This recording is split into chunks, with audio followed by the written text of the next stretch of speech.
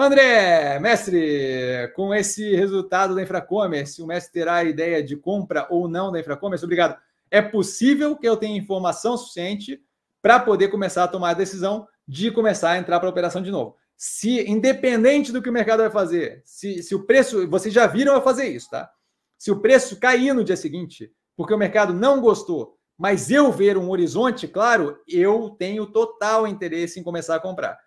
Se eu não ver um horizonte, o preço pode subir, pode cair, pode o diabo que eu vou esperar mais informação. Eu, nesse momento, não consigo dizer se no terceiro trimestre eu vou ter informação suficiente para tomar uma decisão, porque eu tenho que ver o que vai me ser a, a, a, apresentado como dado e aí ver se eu consigo ver clareza de um horizonte para poder tomar decisão. Até agora não consigo dizer. É, foi, quem viu multi na análise do quarto trimestre de 2022 viu isso. Eu falando, olha, a gente vai aguardar para poder entender como é que vai evoluir a coisa e aí tomar a decisão de voltar a aumentar a posição em multi. A gente aumentou várias vezes depois daquilo, diga de passagem, tá? Mas naquele momento a gente estava tipo, olha, vou aguardar. No primeiro trimestre de 2024, no primeiro trimestre de 2023, acho que também não tinha clareza ainda, a gente esperou mais um trimestre ou no meio do trimestre, 30 trimestre.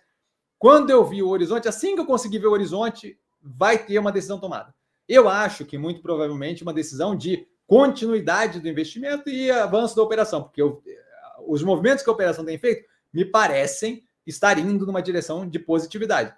Mas eu quero aguardar ver o horizonte. Neste momento, ainda não vejo o horizonte. Nesse momento que eu vejo é uma operação é, com preço extremamente, absurdamente, muito descontado, mas sem clareza desse horizonte é, médio, médio e longo prazo de quão positivo e o quão rápido vai ser. Então, é possível que eu tenha todas as informações necessárias, ou grande parte, para tomada de decisão no resultado do terceiro trimestre. Mas eu ainda não me sinto confortável de falar esse trimestre vai sair uma decisão dali, porque eu não sei o que vão divulgar de informação, certo? O outro CEO lá que virou presidente do conselho, Mudinho, aquele ele não falava nada, certo?